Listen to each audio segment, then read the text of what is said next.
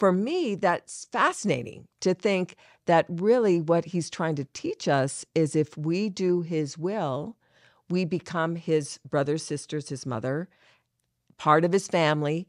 And that as we become part of his family, we will listen and learn from him as well. Yeah, we were actually we were speaking about this in the car on the way over um, because I think there is an interesting tension in the church because Jesus, we have such a family centered church with the Church of Jesus Christ of Latter day Saints.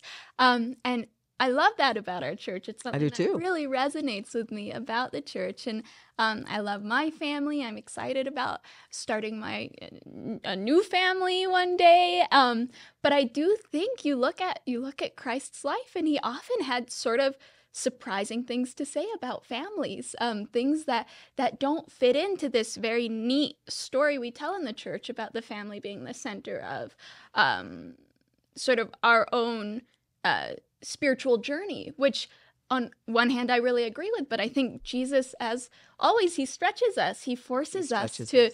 to confront things in a different way, and I think, um, especially speaking. Uh, I have I have lots of friends who they don't have that traditional family structure Right. yet or they may never have that family structure and I do think it's it's somewhere where maybe they they are a little more plugged into to Christ's perspective on these things than than we're disposed to be with with the church's traditional line on on family issues which isn't to say that families are bad and I do think that they are our first opportunity to practice Christ-like behaviors right Definitely. but I also think that Jesus is such a good reminder that you can you can have found family, you can have uh, family structures that don't look exactly like all of the cartoons and pictures of families might look. And that's something that especially as I recently got married, but I was a, a single member of the church for a long time. Mhm. It's it's nice to remember that as far as we know, Christ operated a lot like a, a single person and he it's not that he didn't have family but he had a different perspective on what a family could be. And i think that again it's something that challenges us a little bit but in in a good way and it's a way that forces us to open up our our understanding of how how we live our own lives as well as how others live theirs and get close to Christ. Oh, I agree. And Annette, you and I, though, had very traditional families and big, big families. yeah. so, what is your thought on that? Well, I think, you know, it is maybe particularly for us to think because um, one of the wonderful things about focusing on your families is you have lots of responsibilities towards them. You want to do fun things with them. You want to celebrate them. It takes a lot of time and we have we run the risk of becoming a little bit tribal in that.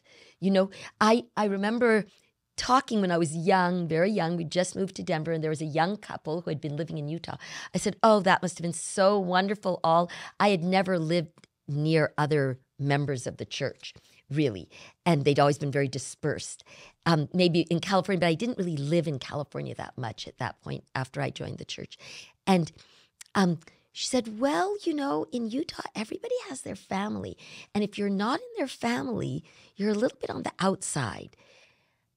I remember, I remember just feeling like, no, you know, it just hurt my heart to think that people weren't welcoming everyone into their families like family because we are family. Yeah. And I think that this, this response of the Savior when they say, Oh, your mom and your brother's outside, said, Who are my mother, my sister, my brother? Those who listen to what I'm saying, those who are following the teachings that I'm giving them.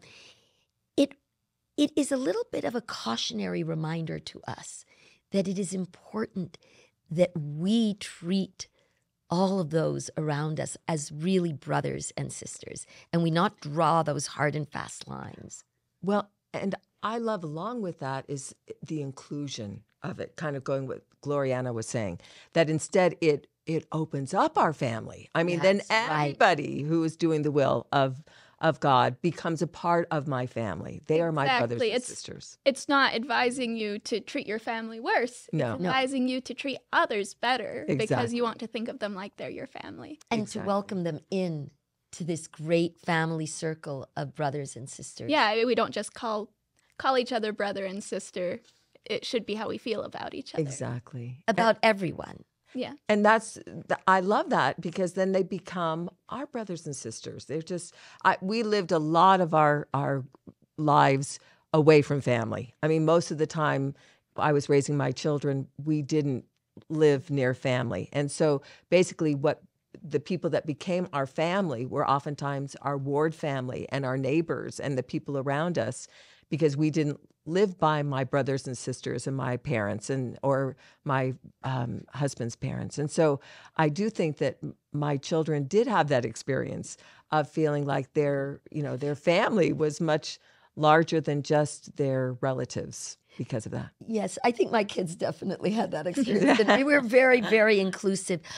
But I also I also think, you know, that it is important for us as we sit in the world with non-judgment to understand Jesus